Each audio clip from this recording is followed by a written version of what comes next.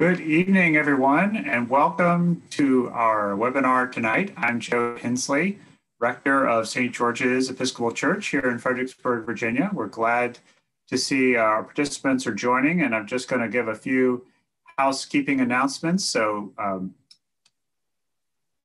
our webinar tonight, 300 Years of St. George's Parish, a unique microcosm of American history, will be presented by Craig Rains and Trip Wiggins, who are members of our St. George's History Committee. And we are also joined by Stuart Henderson, Cindy Helton, and Melena Henderson, also of our, of our History Committee tonight. Just a little bit of, of how this webinar uh, function. So for more information about our 300th anniversary, you can go to our website. Uh, tonight is offered uh, free as a free event. We appreciate any donations you might want to share in Thanksgiving uh, for our 300th anniversary, and I'll post a link to that in the chat as well. And there will be a recording of this discussion that we'll have posted and that uh, if you register, we'll make sure that you uh, get that directly as well. So if you miss something, don't worry, you'll get a chance to go back and hear it again. So this is a webinar, which means that only the panelists will be visible, but we'd love to interact with our participants through the chat window and the Q&A window. So at, what you'll see is that you have two options. One is for chat, and that allows you to interact with the panelists or with other participants. Uh, if you want to interact with, so you have to click on, on who you want to interact with, whether it's, and you'll note it, it says to all panelists or it'll say to all panelists and participants. Um, if you want to ask a question, the Q&A window uh, is the best way to do that because that allows us to track, track it a little bit more easily. So at the bottom of your screen, you should see a little uh, speech bubble that's and it says Q&A underneath it. And you can click on that and submit your questions at any time. And so we'll be keeping track of those. And then when we get to a stopping point in the discussion, we'll make sure that those questions are addressed. So we hope that you can participate with us uh, through those means, even though we can't see you or hear you, we can read what you have to say in the chat or the Q&A window. So without further ado, I'm going to uh, turn it over to Cindy Helton to introduce our presenters tonight. And uh, as I have been saying uh, in other presentations that the History Committee has done recently, uh, as Rector of St. George's, I am so thankful and delighted uh, at the work that they have done helping to uh, research more and more of the story of our parish as we celebrate our 300th anniversary and as we seek to tell uh, a broader story, a more inclusive story of, of the history of, of this place and what God has done here, what God's been up to, what human beings have been up to, ways in which we, we can celebrate, ways in which we need to, to look, uh, look hard at our history and, and see how we can be better. So I will turn it now, turn it over now to Cindy Helton. And unmute yourself, please, Cindy. Thank you, Pastor Joe.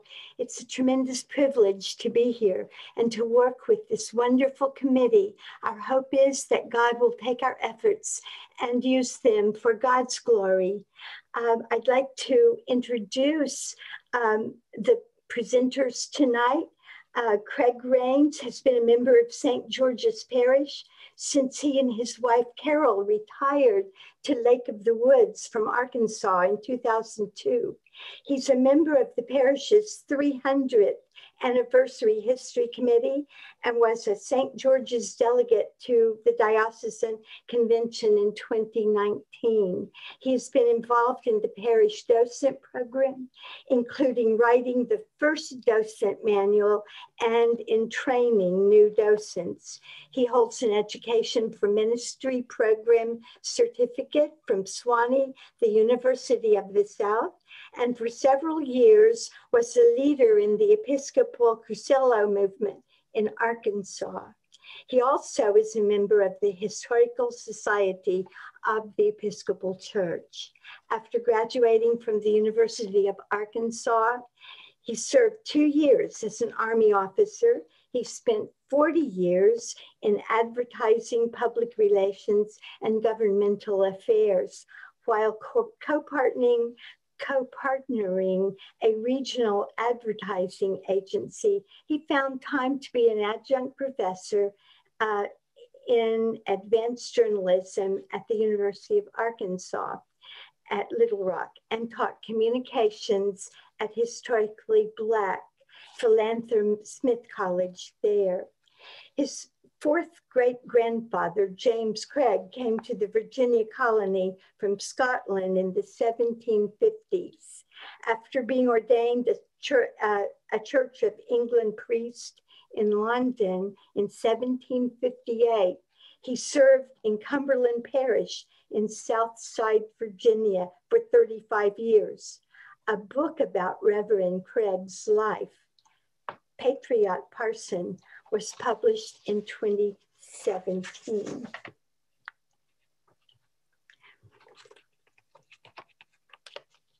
I'm also happy to introduce our uh, colleague and partner Trip Wiggins. Uh, Trip uh, and I started before we uh, had the history committee with the archives committee, along with Barbara Willis, our co my co-chair now, who could not be with us uh, this evening, and um, also with um, um, John Pierce, Ed Jones, Ben Hicks, and uh, and that has been a, a long going effort, uh, ongoing effort, uh, and Trip Wiggins was part of that uh, original archives group. This group started working for on the 300 celebration material in 2017. Trip is a retired naval officer who, when not serving on the St. George's History Committee, is working at Dahlgren as a civil, civil servant, served as a past junior warden, a Boy Scout leader over uh, 50 years and going. Um, um, I think that should be 20 years, it's my typo, a member of the Fredericksburg Welsh Society, teaches classes on genealogy in the Fredericksburg Regional Genealogical Society, or portrays an 18th century person in the Rappahannock Colonial Heritage Society, which he and his wife Myra helped found about 20 years ago. He's also a cradle Episcopalian who moved to Fredericksburg in 1991. On the History Committee, he has expanded and updated the biographies of all the St. George's rectors. He has, with the Central Rappahannock Heritage Center, archived the St. George's materials. Uh, I know you're in for a special treat as you listen to Craig and Trip tonight. I'd also like you to know that Melena Carrie Henderson is a member of this committee. She's been a member of St. George's since 2007. She served as an original member of the History Committee and the Race and Reconciliation Book Group.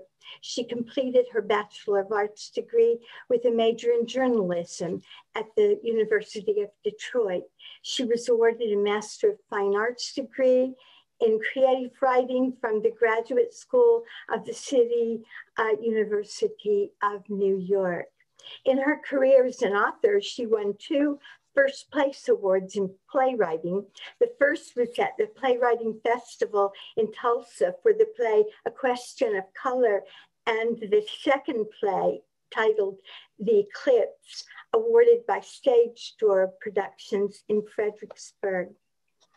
In continuing her writing career at St. George's, she wrote and produced three children's biblical plays for the theater group, uh, the theater camp, and in 2017, she and her fellow parishioners, Jessica Atkinson and Chandel Perone, wrote and produced a three part Black history program for St. George's. In 2018, the Friends of the Wilderness Battlefield organization asked Milena to write and produce several one-act plays for depicting the depicting of the important events in Black history titled Untold Stories that we would be presented at several Fredericksburg churches. We're so happy that Milena is serving on the panel with us tonight. Her husband, Stuart Henderson, is a seasonal interpretive park ranger at the Fredericksburg Spotsylvania National Military Park. He arrived at the park in February 2005 as a volunteer and became an interpretive park ranger in May of 2007. He's also past president and co-founder of the 23rd Regiment United States Colored Troops, joining with other Civil War historians. He is an author with the emerging Civil War. He is now also a battlefield guide with Fredericksburg Tours. After attending Howard University, Stuart began a 35 year career in financial services where he served as area manager and senior vice president for retail banking at SunTrust Bank, recently merged with B, uh, B&T Bank as Truist Bank. He also completed programs with the American Institute of Banking and the Consumer Bankers Association Graduate School. Stuart retired from his banking career in 2005 to pursue an interest in American history with a special focus on the Civil War. Before coming to St. George's Church, Stuart was a member of St. Monica's Episcopal Church for 45 years while he lived in Washington, D.C. He served on the vestry for one year, served on the finance committee for several years, and was an acolyte from the time he was eight years old uh, to 16 years old. And uh, I'd also uh, like to mention that Milena uh, is a recently published author. Her book on Wings of Freedom, set in the year 1860, was published this past December. Thank you all again for being with us.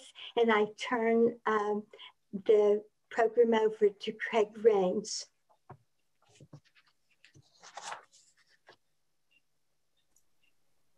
Thank you, Cindy. Let me see if I can uh, pull my screen up, and if I can, we'll be in good shape.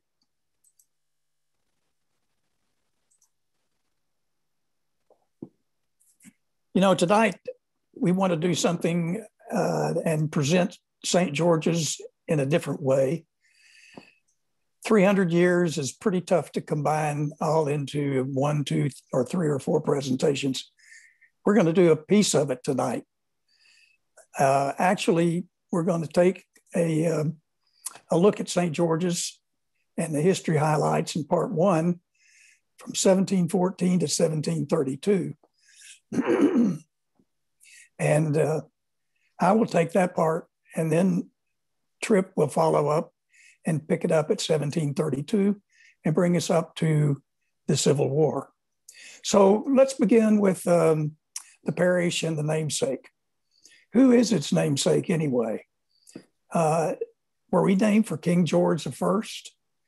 Well, King George I, I'll have to do a little water here.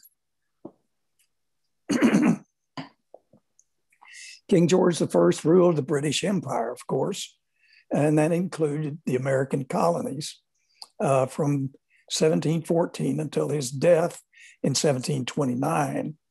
So he was a quote, supreme governor, as they called him back then, of the Church of England.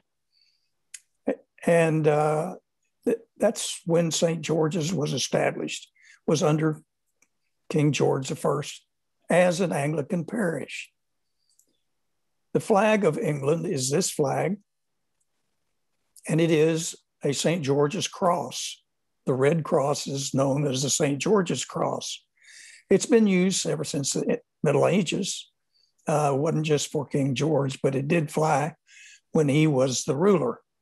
Remember this flag because you're going to see it again later on in the presentation when we talk about what happened after the American Revolution. Just as in the United States today, uh, England doesn't have any laws about what they can do, what people can do with their flag. For example, if they want to sit on it, they can sit on it. If they want to take a shower behind it, they can take a shower behind it. If they want to put it on a funny hat and wear it on Boxing Day, they can do that. If they want to wrap their children in it, they can do that. Or if they want to sleep under it, they can do that. Or do all sorts of strange things with their flags.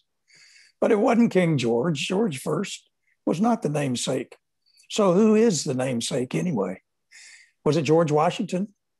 Well, we all know the story about George Washington, how people wanted to make him king when we won the American Revolutionary War. Uh, but George, of course, would have nothing to do with that. So he became President George Washington. And he, but he did, in fact, have a connection with St. George's Parish in Fredericksburg. In 1738, when George was six, he and his family moved to what we know as Ferry Farm across the Rappahannock River from Fredericksburg. About eight blocks southeast of the church is City Dock. And uh, that's where you can look across the river and see Ferry Farm, where George spent his childhood. And also, this is where supposedly he threw the silver dollar across the Rappahannock, not the Potomac River. But we know that that's another fable too. So we're talking about fables here. But the family lived over across the river, and that was Stafford County. And so that was another parish. So they were assigned to another parish. But it's in all probability the Washington family probably took the ferry across over there, over here to City Dock, and uh, walked up to church on Sundays because it was so close and convenient. George inherited Ferry Farm when his father died, but he left home to become a surveyor when he was 21, and uh, his mother ran the farm for him. Then in uh, 1772, George came back and bought his mother a house in Fredericksburg, and she retired from farming and uh, did, did a beautiful job of, of her gardening there in Fredericksburg in her house. It was close. He bought it for her because it was close to where his sister Betty Lewis lived in Kenmore. And also, she could walk from there down to St. George's to go to church. And there have, are people who have written that she was sometimes the first one in the church for the services. Well, we don't know that George, when he was growing up, attended uh, St. George's. We don't know whether he did, whether he studied or not under one of our rectors, Reverend Marye. We think he did. We don't know whether he actually learned surveying from one of our church members, George Hume, who was the regional surveyor, but we assume that that's probably true. But no, with all of this, we know that the parish was not named for him. So, who is its namesake anyway? Well, maybe it's named for a real person. Maybe it's named after a mythical person. Maybe it's named after George the Dragon Slayer. Well, there's several of those George the Dragon Slayers throughout history. But we'll take one, for example, tonight. Uh, since the original St. George's Church was established out in Germanna by uh, Alexander Spotswood uh, for German immigrants that he brought over to America to work in his furnaces. He may have suggested naming it after a St. George who was from Germany and was a dragon slayer. Maybe he did that to make his immigrant workers feel at home. So George the Dragon Slayer lived in the in a valley in a town that I can't pronounce, but it's Ebringen uh, in the southeast western port, part of Germany. Uh, the little village, beautiful village today, but at the time it was full of pagans, and they were fearful, as the tale goes, of a fiery li- uh, dragon that lived in a cave up in the mountain. And it's to the point where even people, they would sacrifice people to the dragon on occasion. Well, George found out one time that he had secretly converted to Christianity. And so he uh, was one of a few in the area. But he learned one day that there was a young daughter of the local prince that had been selected as the sacrifice to the fiery dragon. So young George decided that he would make sure that that wouldn't happen. So, trusting in his God, he fought the, the dragon and killed him and saved the damsel. Now, that same story is told about other St. George's everywhere. But uh, in this particular instance, the town was so grateful that uh, St. George uh, killed the dragon that they celebrated by putting crosses on their gables of their houses.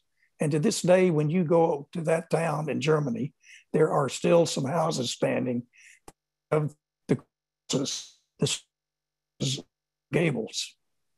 Well, our St. George, here he is.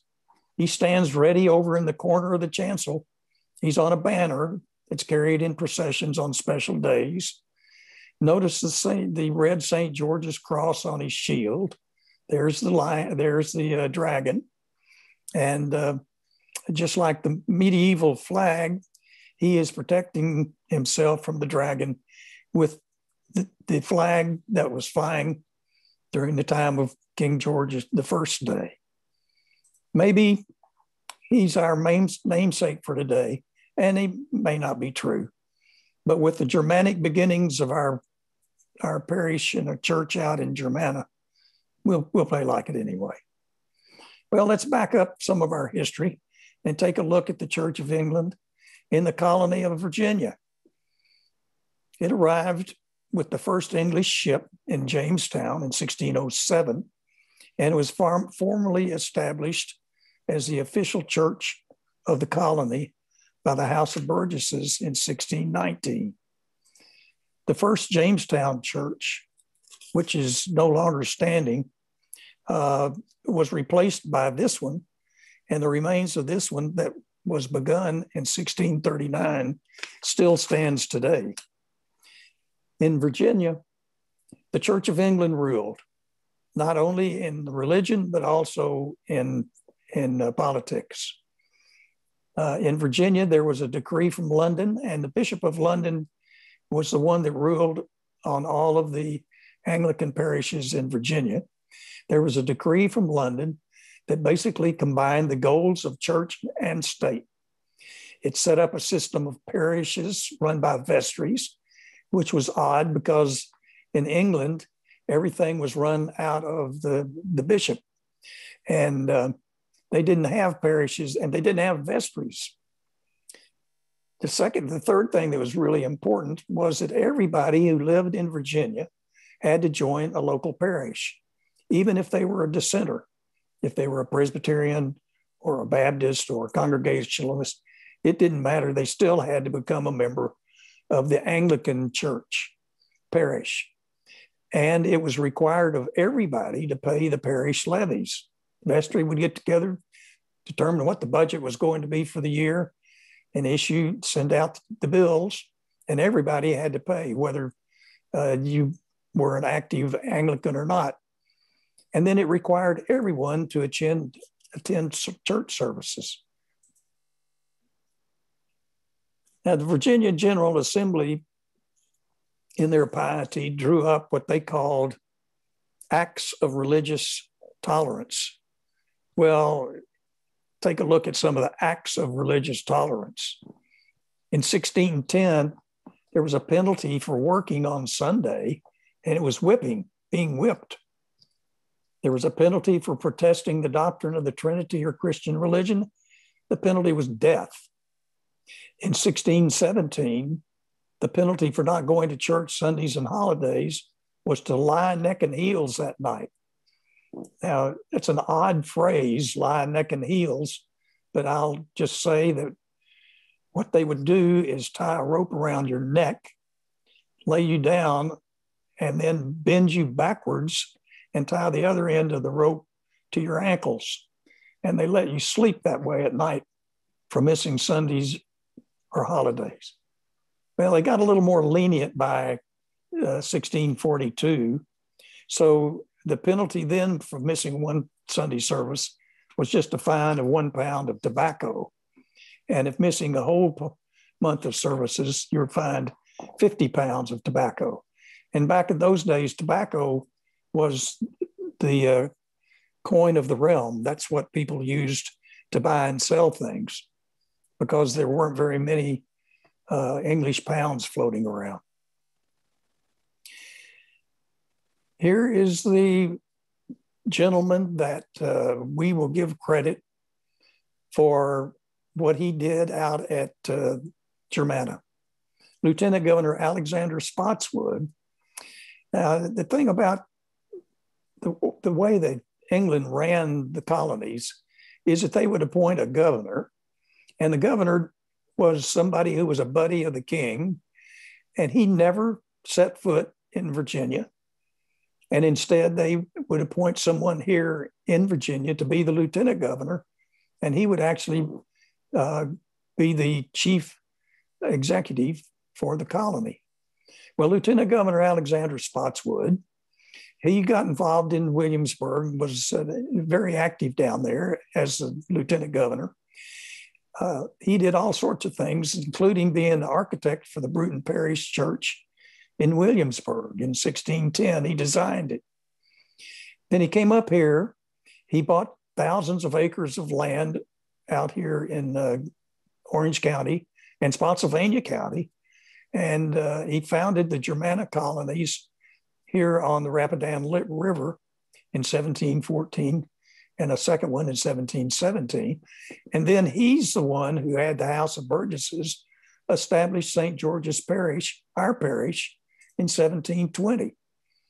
And if you haven't been to Old Williamsburg, here is a picture of the, the, the, the Bruton Parish House that uh, Governor Spotswood designed. It's a pretty nice legacy for him. St. George's Parish, number one, we're not there yet. The German Reformed Church at, at Germanna. Uh, I mentioned two St. George's, and uh, the first one was definitely not Anglican. The House of Burgesses set it up for Governor Spotswood as a German Reformed church. And uh, the new parish was cut out of one that was existing at the time. It was a St. Mark's parish. And they drew a circle around this little area, which was his little town of Germanna. They drew a five mile circle all the way around it.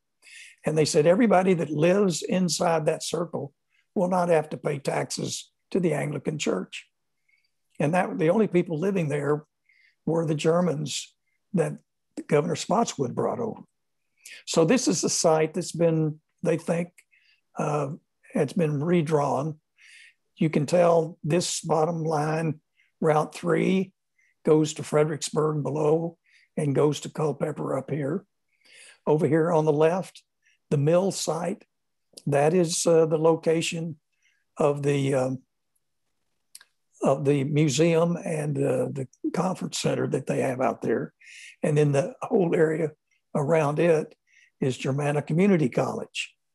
Across the way, this little funny looking thing is a blockhouse, which we're going to talk about in a minute. Now, the new parish was cut out of uh, St. Mark's, and it the people that came in, he lured them over well, he promised them he'd pay them some money uh, from Germany. And so they showed up and formed the first St. George's Church. It was the first permanent German Reformed church in America. They met in the central blockhouse and they had about 42 members at the beginning. Now, here's that funny shaped building in the middle of this. This is the blockhouse. And um, uh, it was used for church services and it was also used for town meetings and it was used for other things. Uh, and it just to uh, it was a place where they would all go if the if they needed to defend from the Indians and Native Americans. Uh, in 1715, a visiting off, uh, British officer came by and noticed the blockhouse. He thought it was really strange. But he wrote back, he said, talking about the Germans who were living there, they make use of this blockhouse for divine service. They go to prayers constantly once a day. They have two sermons on Sunday. We went to hear them perform their uh, service, which was done in their own language, which we did not understand. But they seemed very devout and sang the Psalms very well. That was British officer John Fontaine writing in 1715. Two years later, a second colony arrived at Germanna. This time they were evangelical Lutherans. Now, there were about 20 families or about 80 people that showed up from England. They had gotten on the ship and he cast off, and the ship's captain came around to collect their fees and so he landed over here, paid for their cost of transportation over, and uh, in exchange, they were going to become basically indentured servants for him. Um, they worshiped in the blockhouse, but they didn't worship with the Reformed Church. So the two groups decided they needed to build a separate church. So they went back to Europe and tried to get money to do that. Here's Westminster Cathedral on the left. They went to, to the Church of England. And over here on the right is St. Martin's Lutheran Church in Baden, Germany. And that's the same general area where our St. George uh, and his dragon lived. They also requested from the Anglicans, the Anglican Society for the Promulgation of the Gospel in Foreign Parts. That's a long word, long title for a committee. Uh, but they got turned down by the Church of England because the Church of England's rule was that they would only make grants in colonies where the Anglican Church was not entrenched. And you know it was well entrenched here in the colony of Virginia. However, it did promise to send 25 copies of the Church of England's Book of Common Prayer printed in German. Well, in 1719, the first colony decided they had had all of Lieutenant Governor Spotswood that they wanted. So they moved into Hanover Parish, which is now Fauquier County, across the Rappahannock River, and they established Germantown. Reverend Hager, who had been their minister with them in Germanna, uh, went with them to oversee a new German Reformed church there. There was no act passed by the House of Burgesses to establish a new parish, which meant they had moved out of that circle of tax free uh, over into Hanover Parish. So they paid their tithes to the Hanover uh, Anglican Parish, as well as the tithes to their own church. And they never did conform to the Church of England.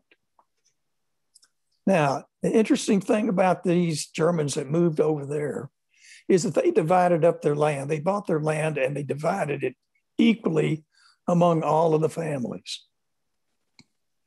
Uh, and you can see this map was shown, and you could tell where everybody's property was. It was all the same size, and they were uh, quite a community. And today, there's still some uh, people by that name, those names that live over there and that live in Spotsylvania, Fredericksburg, Orange, uh, Madison, and Culpeper, for example. This area right here where they lived uh, is today is inside the Commonwealth's Crockett Park um, in Fauquier County. Well, finally, we get to St. George's Parish, our parish. Lieutenant Governor Spotswood had the House of Burgesses set up a new county, an Anglican parish to include Germanna. Um, and it was um, to replace the original parish and county boundaries with an act of the House of Burgesses effective in May of 1721.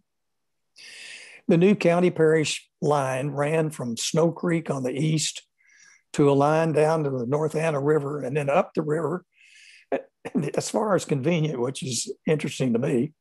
And then from there to a line to be run over the high mountains, which is um, uh, the Blue, Blue Ridge Mountains, uh, as far as they wanted to go, and then back down to the headwaters of the Rappahannock River. Governor Spotswood plans at that point to build a new place of worship for the Anglicans at Germanna. He liked it being convenient to his home. Well, here is Spotsylvania County and St. George's Parish in 1720. This is the state of Virginia, of course. The purple is Spotsylvania County and St. George's Parish. It includes nine counties of today's Virginia. Right here is Fredericksburg. It was not close to anything for there.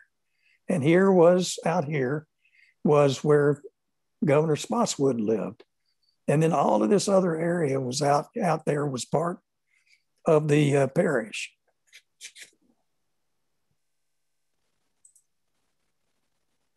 Well, after he got all of that set up, then the second group of Germans decided they were going to leave. They completed their indenture and they left for what is now Madison County. They moved upriver and uh, they built a log structure known as the German Chapel. And um, they established the Hebron Lutheran Church. And people kind of nicknamed it the Old Dutch Church, Dutch being uh, meaning German, not Dutch, Holland. Uh, so they ended up at one point with, um, uh, they grew so much that they had 300 members. They established their own Lutheran congregation and they named it Hebron Church. The present church building that they have was constructed in 1743 and is the oldest Lutheran church building in continuous use that was actually originally built by the Lutherans and has always been operated by the Lutherans in the United States. And I must say, congratulations to the Hebron Lutheran Church.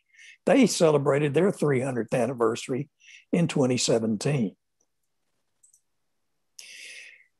With the Germans gone, Governor Spotswood decided it was time to build a new Anglican church at Germanna rather than have the parish meet in the blockhouse.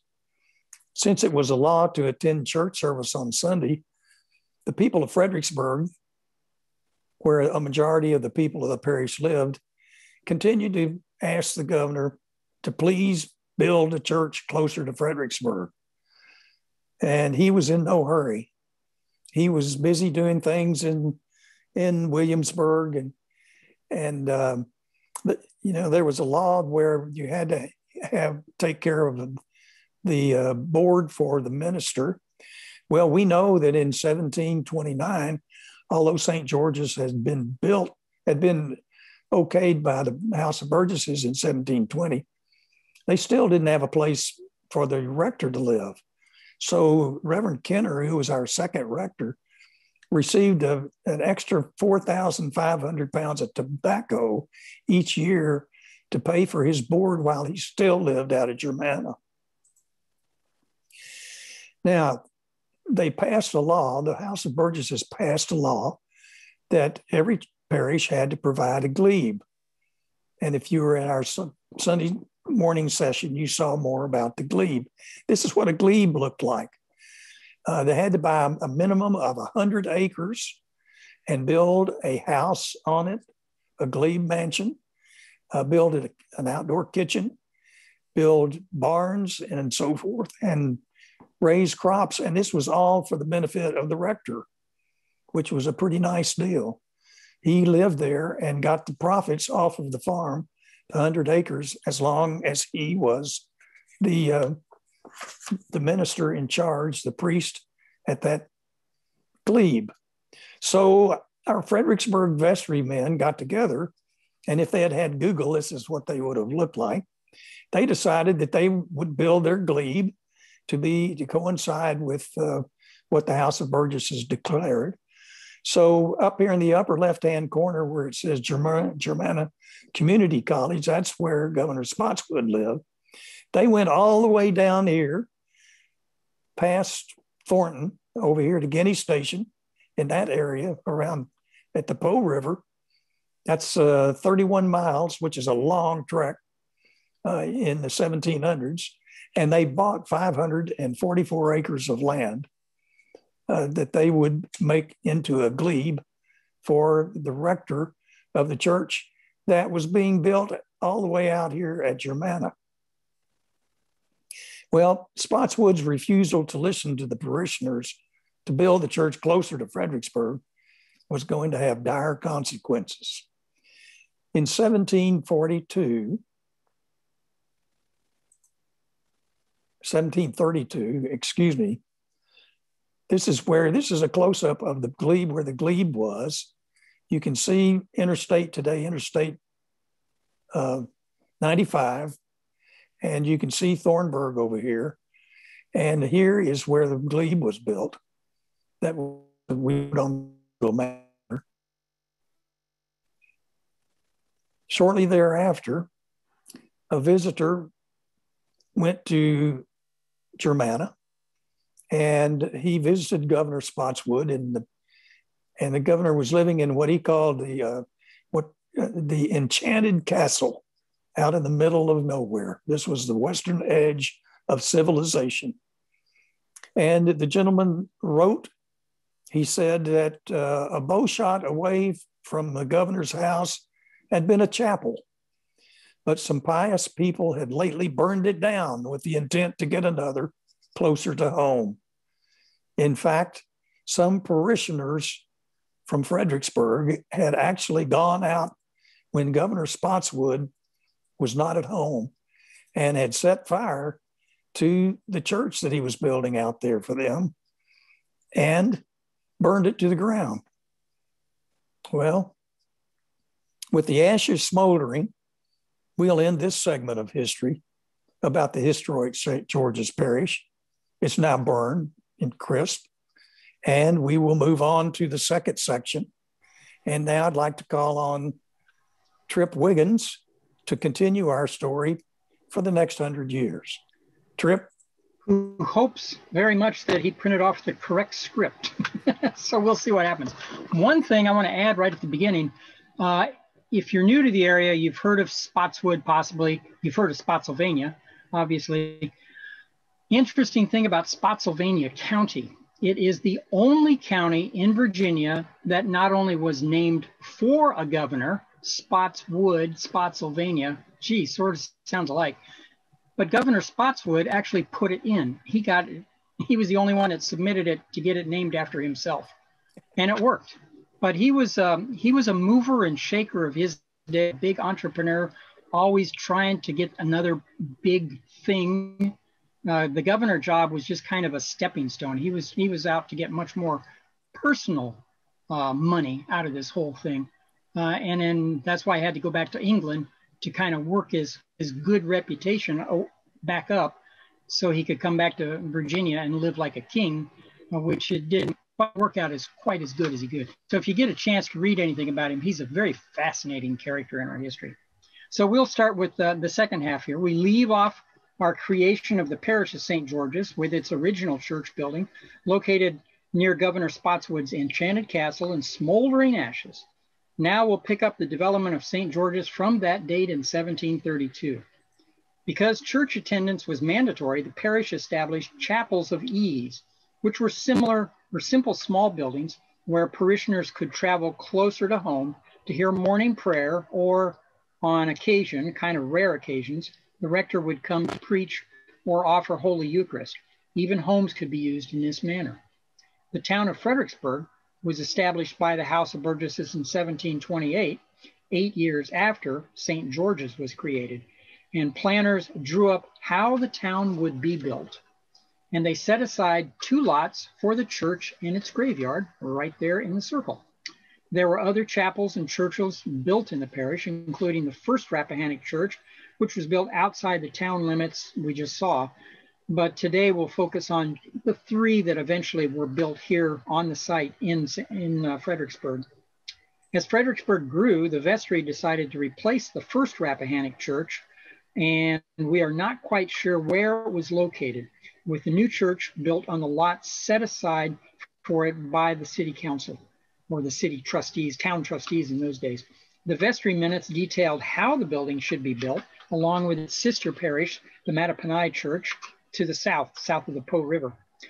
This is uh, how the artist conjecture looks at how we think it looks based on the details that are put into the uh, vestry minutes on this is what we want you to build a church this size. And it said it had to be uh, 60 feet by 24 feet with brick foundation. There would be 10 windows, and the roof should overhang the sides by 12 inches.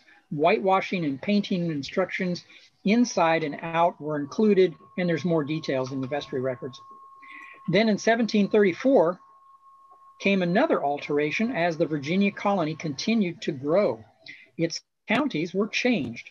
In 1734, Spotsylvania County was cut down and St. George's Parish cut down with it. Orange County was created, simply put. Orange County's line on their east was Spotsylvania's new western boundary, but Orange on the west ran all the way, legally, I suppose you could say, to the Mississippi River. It's a big county, which covered what became all these modern states, pretty much the Northwest Territories and it required an Orange County courthouse for the people in the western edges. It selected a courthouse used by the French decades earlier. Today, that Orange County, Virginia courthouse still stands where it was built.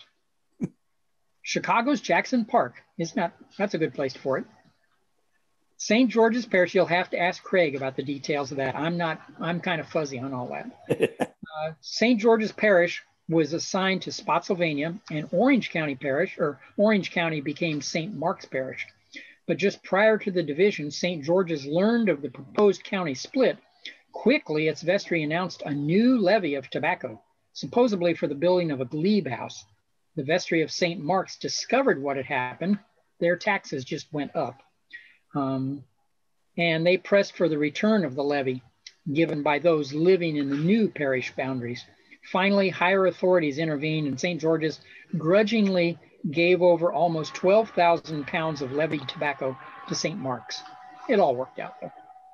Around 1765, our rector, James Marye, whom you'll hear more about later, and Fielding Lewis, brother in law of George Washington, started a school for slave children named the Bray School. It was named for a British missionary who operated or opened a number of similar schools in America. Reverend Marye's son, also James Marye, took over as his at his father's death of the school and our parish.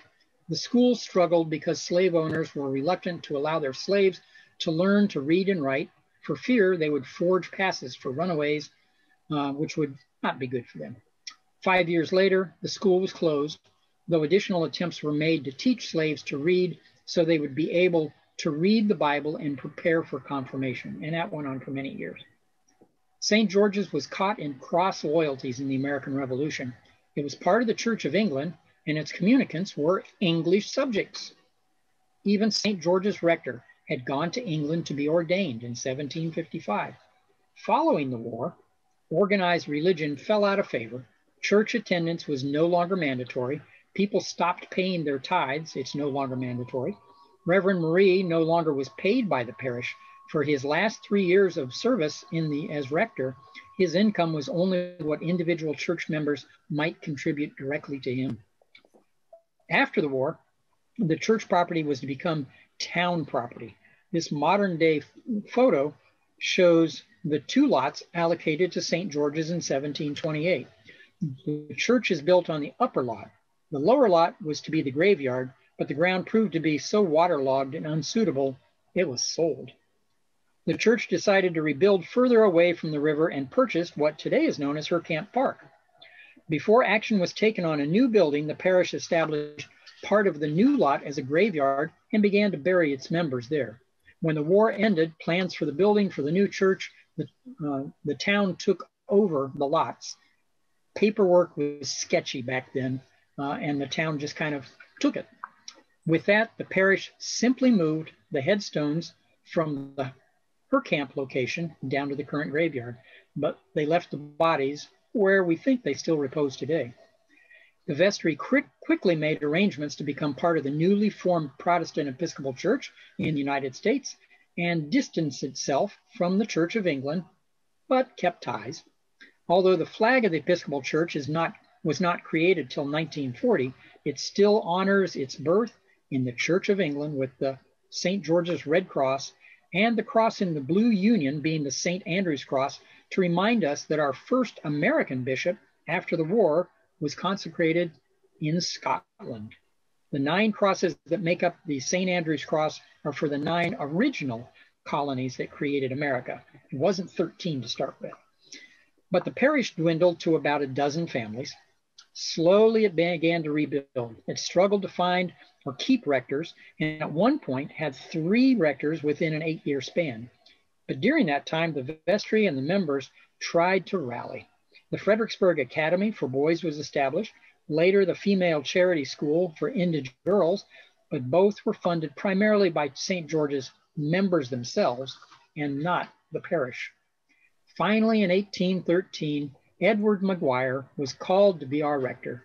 He was only 20 years old. He was too young to administer communion or even be ordained a deacon until the following year when he turned 21. He went to London to be ordained and returned to stay as our rector for 45 years. He was so impressive in his work that Kenyon College awarded him an honorary Doctor of Divinity degree. Under Reverend McGuire, the parish built its second building on the site at St. George or at George and Princess Anne Streets in 1815. This is a conjectural drawing of what it may have looked like. Unfortunately, we don't have any good drawings of it at all. Um, And here's a photograph of the Little Fork Church in Rixieville in Culpeper County. Its site was originally was one of the chapels of ease that Lieutenant Governor Spotswood established for Anglicans in St. George's Parish in 1731. And it's still happily in use today. I've been there, I've worshiped there, and it's a nice little church. McGuire started building a fire under the parish. Um, he was an, a great speaker. He could pull in all sorts of a crowd and the crowd stayed. That's the amazing thing. Attendance grew. Some Sundays he preached as many as 500 people. The Sunday schools grew so large that a new building was erected in 1823, now known as Faulkner Hall. It is our oldest building on the church grounds. By the 1840s, growth called for a still larger church to be built. There was much discussion as to what architecture would be chosen. The first design was Gothic Revival, form with a bell tower at the front corner of the building. But in America, there was a trend towards Romanesque revival form, which opened up the inside and made it lighter and brighter. Unfortunately, John Pierce has passed on. He could speak just to those two topics for two or three days, I think. The latter won out and it was completed in 1849. This is an early postcard of the, the building. The new church, our present one, cost $19,000 to build funded by loans from two banks and backed by vestry members.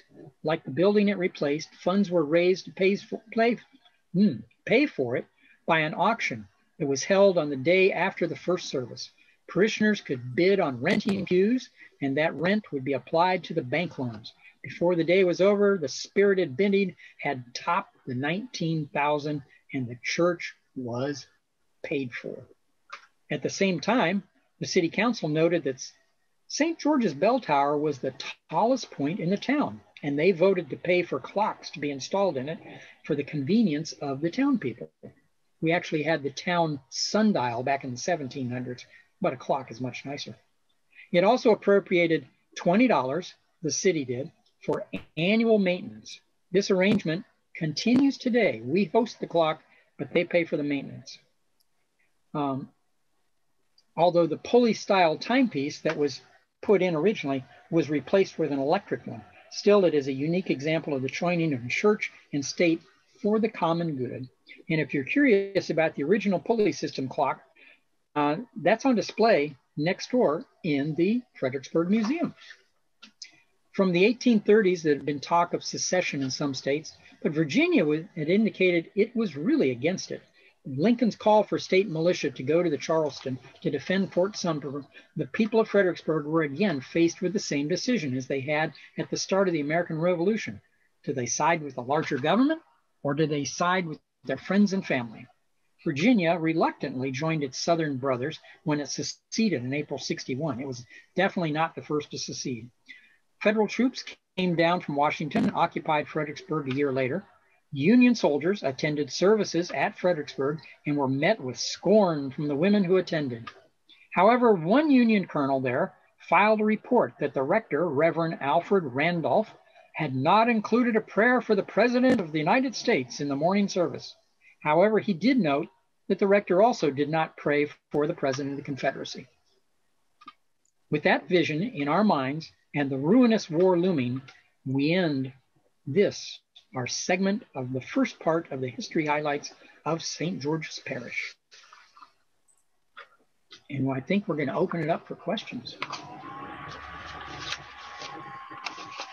Cindy, it's back to you. Thank you. Thank you, Craig and Trip, for that trip down uh, history, through history there um, at the early St. George's Church.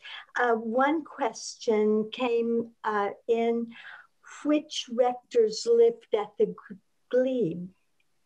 Um, I think the only rector that actually really lived out there was Marye for a while, the first Marye. And then by the time the second Marye was out there was about the time we sold the glebe. And, and I'll let Craig go into more detail because he knows. Uh, Reverend James Marye, the, the first, was the first and only rector to live in the parish. Uh, his wife died four years after they moved out there. And so rather than live out there, which was a pretty good horse ride into town, he ended up buying a, a plot, one of the blocks on Princess Anne Street and moved there, moved into town. And eventually the glebe was broken up and part of it was sold into uh, for the poorhouse. But uh, Reverend Marye ended up uh, serving out his time until his death, living on Princess Anne Street, about a block from the church.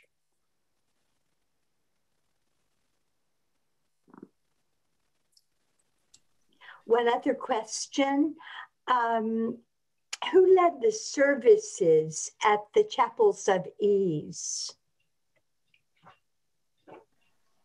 Well, the parish uh, records, uh, the um, vestry minutes, uh, since they have to account for every shilling, every pence that's spent, or every pound of tobacco, uh, it lists at the chapels, there's a local person may have been a vestry member, may not have been a vestry member, and he's listed in there as reader.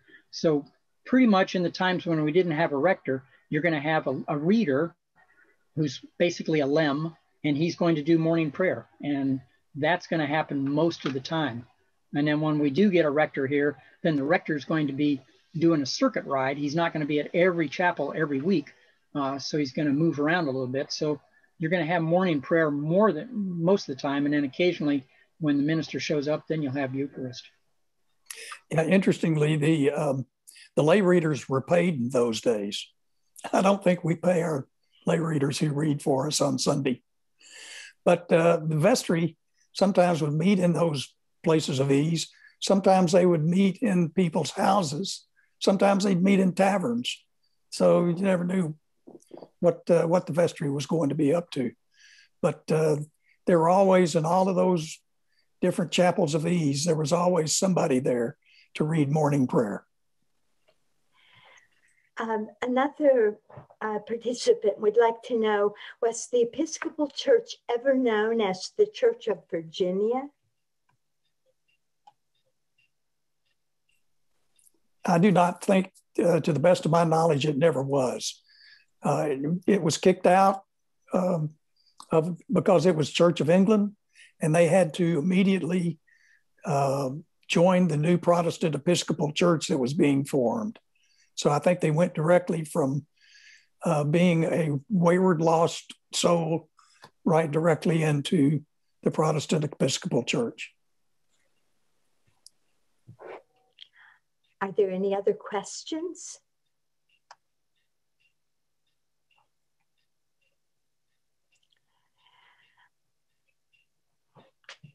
Um, another participant has uh, indicated, I believe that the sign outside the church, which dates 1700, is a bit deceiving since there was no church on the property.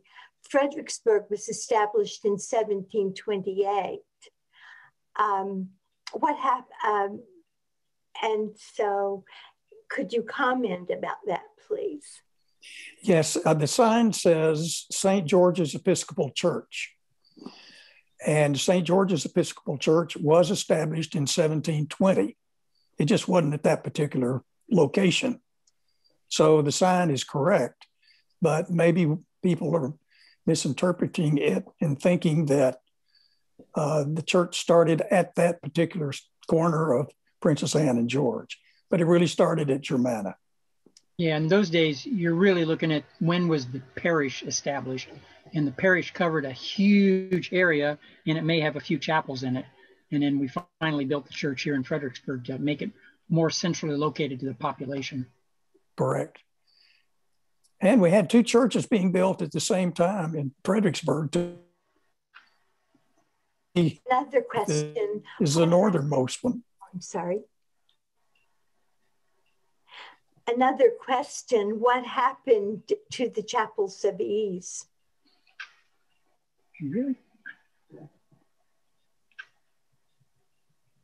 Well, the, the only one that I really know about, of course, is uh, the Little Fork, which looks a lot like our second church, uh, the one that Trip has actually been in. And I'm sure some of you all have, have gone over there to see it. It's a beautiful church. But that's not, that was not built as a chapel of ease. But the chapels of ease were basically not very well constructed. And sometimes the chapels of ease were nothing more than someone's home. So uh, they came and went. There were no permanent, uh, they were not built as something that was supposed to be permanent. And I remember when, when Charles, when he did uh, his oral history a couple of years ago, he mentioned when Spotsylvania, um, Christchurch was having financial problems, we actually helped them out by giving them a piece of property over in Spotsylvania that belonged to St. George's. I don't know exactly what was there, but he says by that time it was just a few bricks in an area. It could have been a site of a chapel, or I'm not sure why else we would own property over there. So, but they like like Craig said, they were not built to say last centuries, and they, most of them just fell apart and disuse. Yes. Uh, does anyone know about Grace Church in Corbin?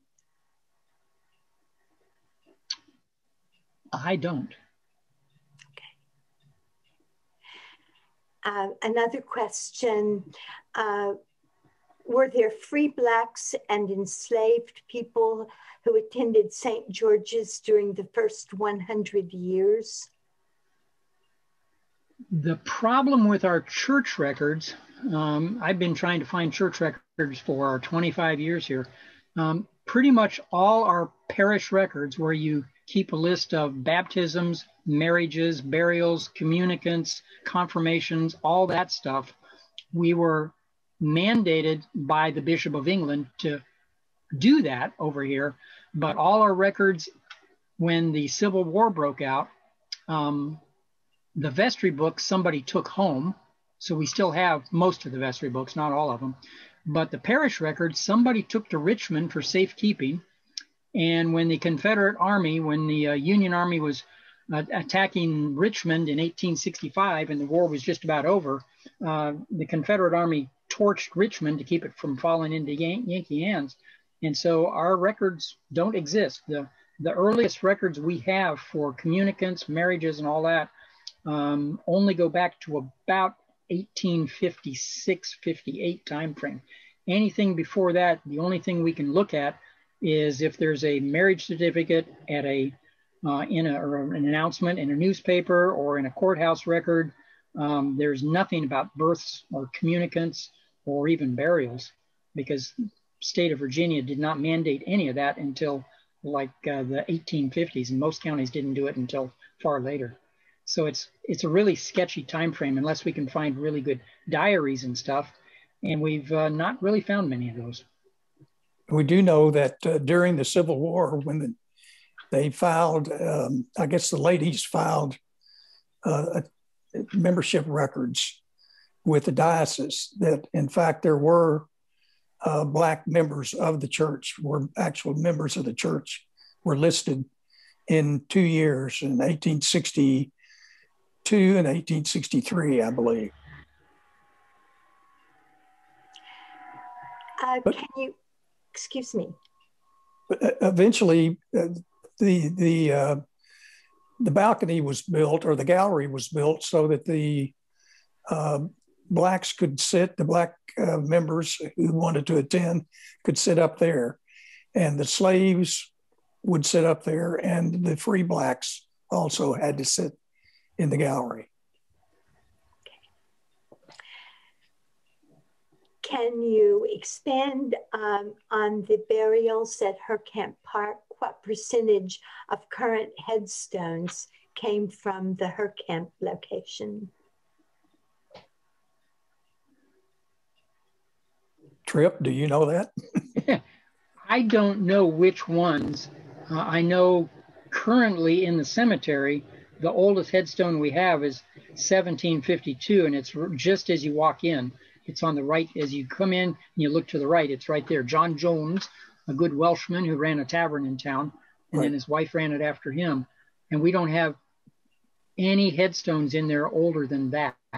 Obviously, there were people dying before that. We had one journal I wrote of some visitor coming through town in the 1760s, I think it was, just for no other reason that it looked interesting to them.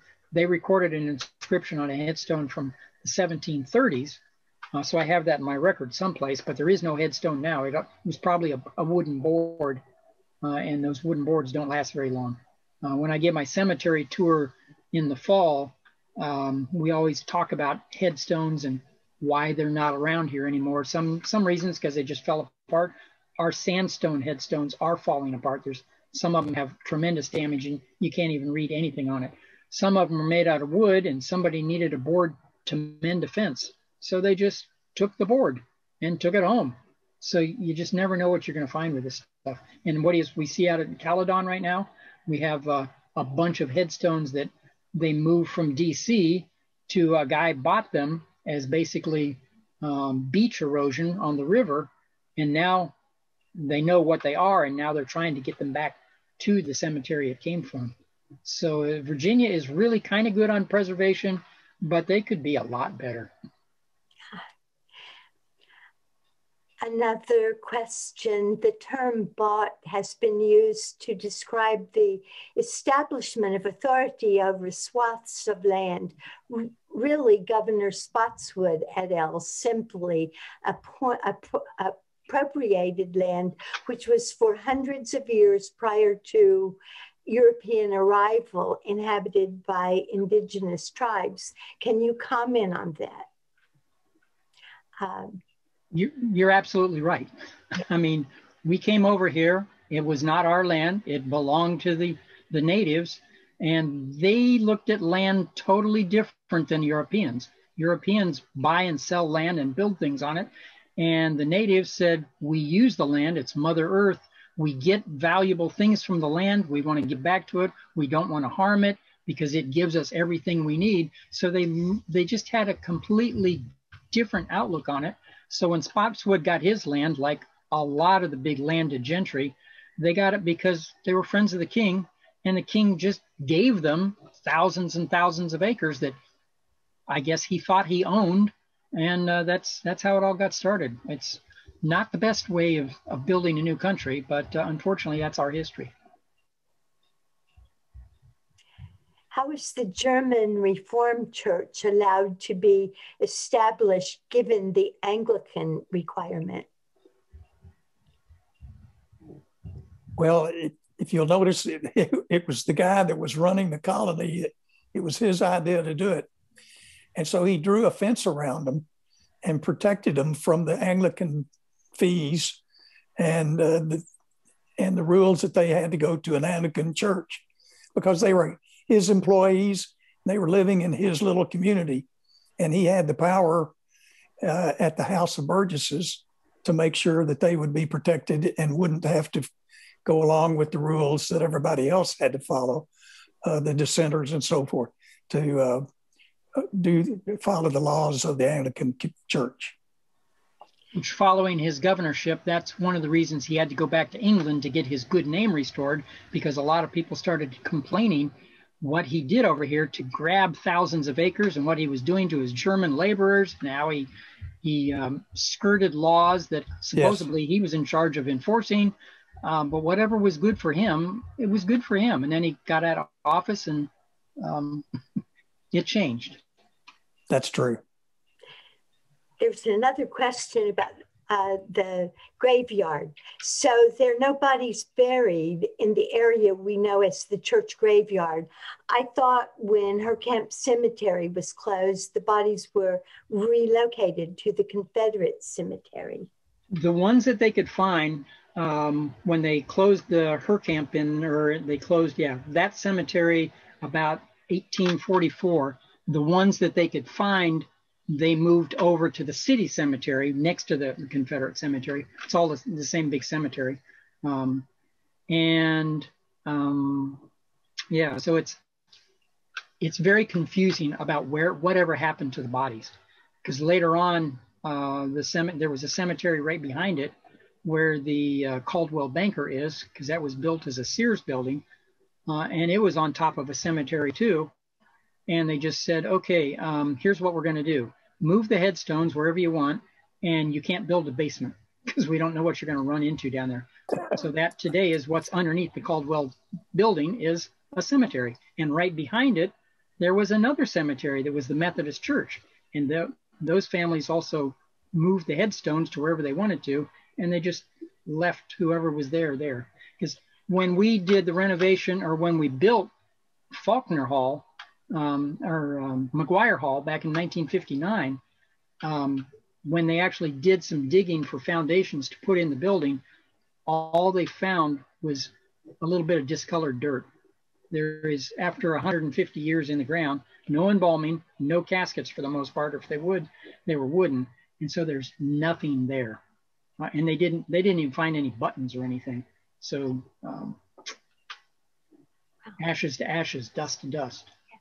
I might just comment about uh, when Faulkner Hall was built, there were um, many um, letters to the editor, many newspaper stories about the protest to building Faulkner Hall, what we now call Faulkner Hall. It was then called the Sunday School Room. Uh, and the, the protests were because people thought that grave, well, graves were there and there was a great uh, hue and cry about erecting a building uh, over that area. And it's fun. When I first got here and I started playing with the history stuff, the first thing I did was make a good map of the, the cemetery. And I actually crawled underneath the crawl space of Faulkner Hall. And there's a couple of tombstones underneath there, but they're so big and they're laying down on its side you could never move them and you can't read any of the writing because it's on the, the face down side of it. But we believe, I mean, that's there, there's still people buried under there. I think about uh, 2004 or 2005 when they were working on uh, Market Square and laying uh, the new pavers over at Market Square, that they uncovered four bodies that were there uh, thinking that probably they were buried from St. George's cemetery graveyard. Right. And so they were disinterred from over there and moved over to our graveyard. And um, the rector had a, a service over them uh, using the prayer book of the 1700s. And, um, and they were reburied in our cemetery. And I believe they thought one of them might have been a slave. Uh, he was buried apart from the others, but they all four were brought. Oh, I think four. They were all bought and buried together. Yeah, we have a graveyard. marker out there. If you walk over down, you can read it. It's a modern yeah. marker. one other question. I understand that Reverend McGuire's grave was moved when McGuire Hall was built. Can you comment on that? It was moved a little bit, but it was a big iron coffin. It was very easy. They could just pick it up. They didn't open it. They just moved it a few feet because it was going to be in the footprint of McGuire Hall. So they moved it and um, put it back in the ground. So it was that was the that was the only grave that they actually found with a real casket in it. Um, there's a question about the builders of um, St. George's, our current building. Do we uh, know who the builders were of that uh, of our current St. George's building built in 1849? We know who the architects were. John Pierce searched for that for years. and uh, I think it was found just before he died. But uh, I have not seen anything about individuals who built, who had any hand in building anything. Yeah, I've never seen any sort of a construction crew list, whether they were free, whether they're slave.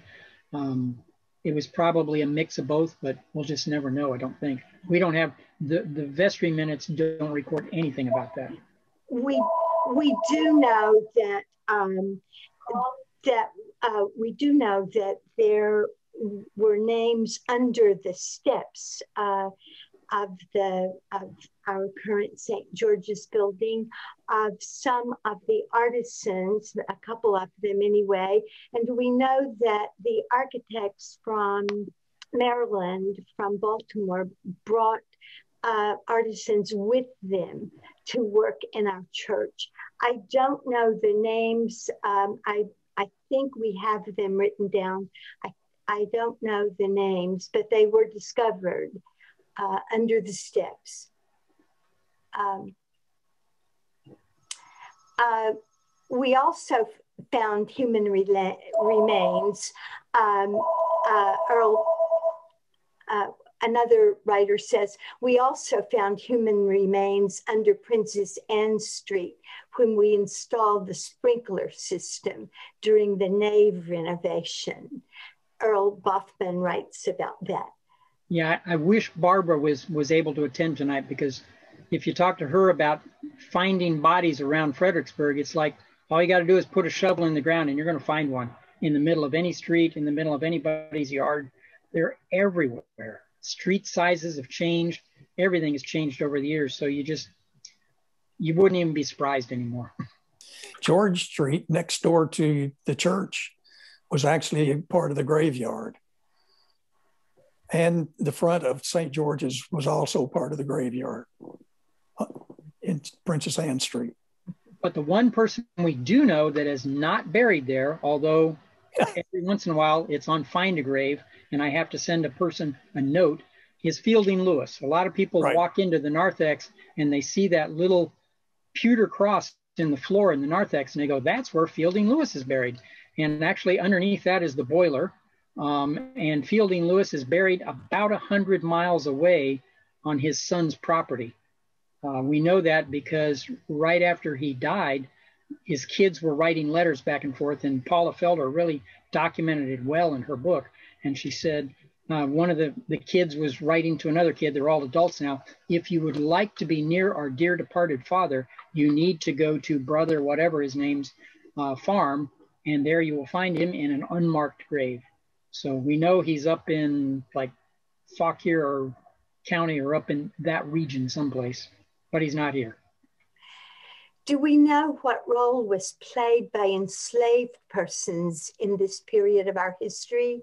Do we know, for example, whether any of the three buildings on the current site were constructed by enslaved persons? Can you comment? Again, we don't have a record. I have not found, there may be a record, but I've never seen a record that tells who had a hand in it in any of the three. Yeah, and I've never never actually found any books that go into construction processes of buildings, especially public buildings, what the makeup was of the crews.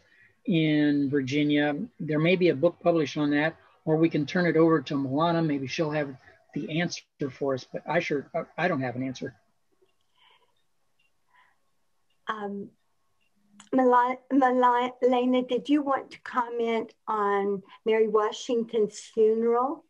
Oh, um, I did read uh, something in the paper um, that she was, she had a funeral at St. George's. And I just remember she was buried um, in a different place where her, yeah, um, down, what street is that right over there? Washington Street, yeah. But she had a funeral at St. George's. That Right, and yeah. that made the newspaper. That's right. Yes. Reverend Thornton was the uh, rector at that time.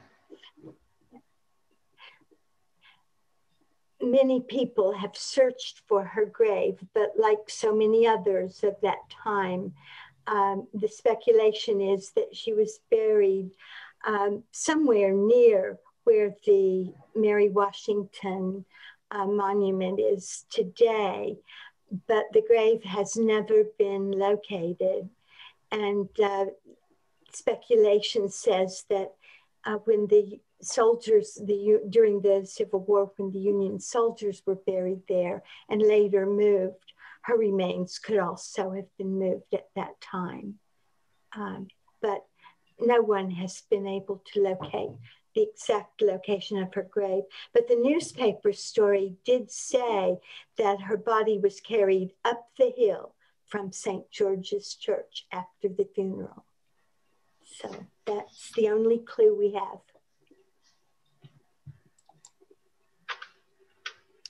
was George Washington educated at St. George's?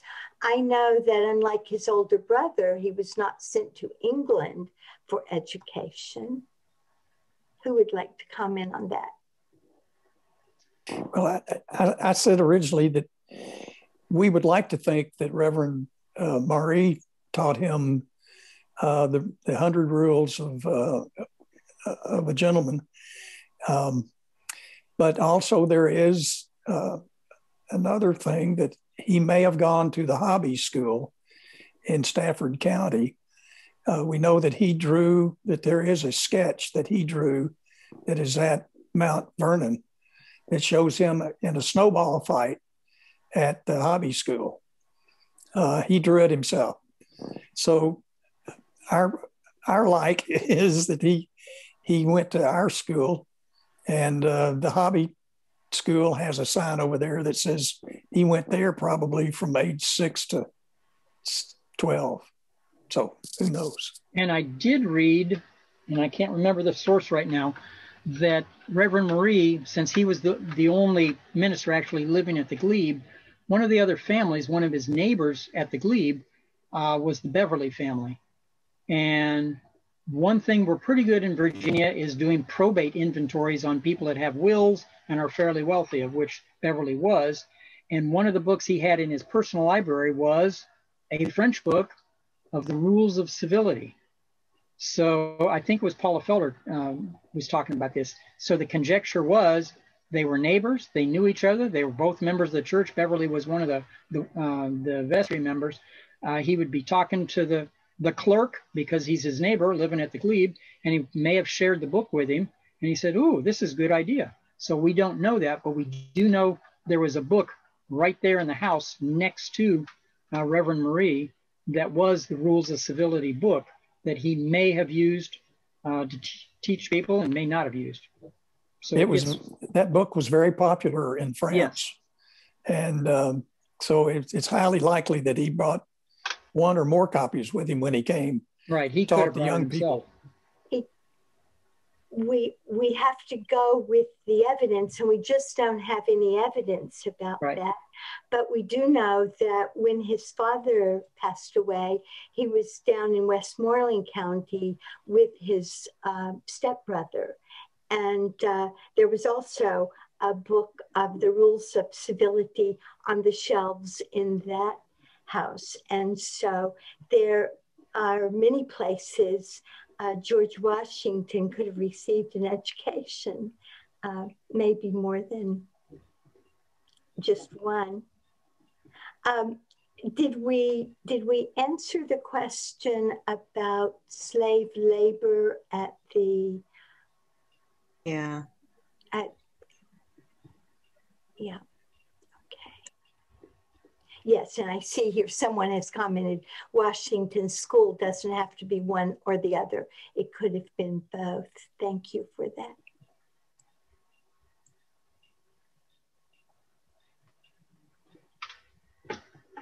I think our time is almost up and uh, we may have time for another question or so. Does, do any of the other panelists want to comment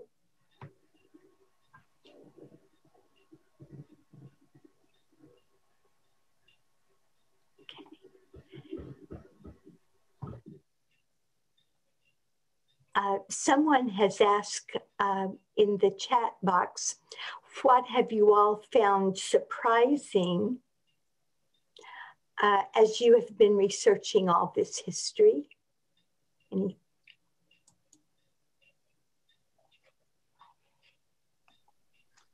One thing that I found surprising was how big Spotsylvania County was at the beginning around 1720. Because when I was looking in Quinier's. Uh, he was saying that they went all the way to Ohio. So that was very surprising.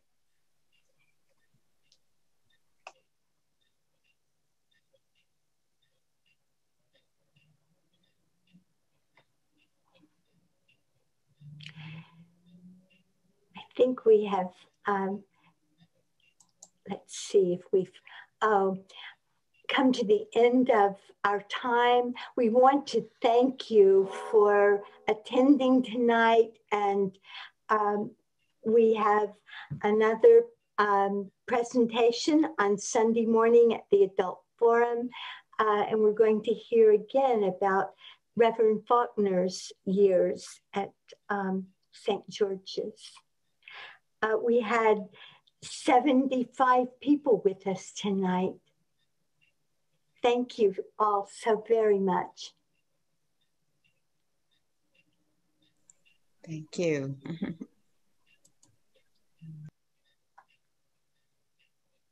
Next Tuesday, we'll welcome John Hennessy on the 16th, I believe. Um, Pastor Joe, glad to see you back. Well, I, I also wanted to thank you all and uh, and and put in a plug to come back for our forum at 10 o'clock this Sunday for more. Uh, but next Tuesday, the, the story continues with John Hennessy presenting, uh, who's a historian with the National Park Service, presenting more about uh, St. George's during the Civil War. Uh, and uh, those of you who've, who've heard John before know uh, he's always well worth hearing. so there's a link in the chat to, to the registration. It, uh, the registration will be up tomorrow on our website uh, as well. Uh, so again, it's helpful if you register for that. I'll also say um, that on April the 3rd, which is coming up uh, Saturday, April 3rd, the Fredericksburg Area Museum is opening an exhibit about St. George's history. That, and uh, St. George's members will have the opportunity to, to tour the exhibit uh, for free, I think uh, there'll be some special times when when St. George's members will have special access to the to the exhibit. But uh, it's been delayed a few months because of the pandemic, so we're excited that it's finally going to get to open, and uh, looking forward to that. And thank you to all of the people on this committee that have done so much work uh, to get us to get that exhibit, uh, the, the, the things we needed for that exhibit. So thank you all. And we will look forward to our next opportunity to uh, continue to learn more about the history of St. George's for tonight. Uh, may God bless you and keep you, and may we all go in peace. Take care.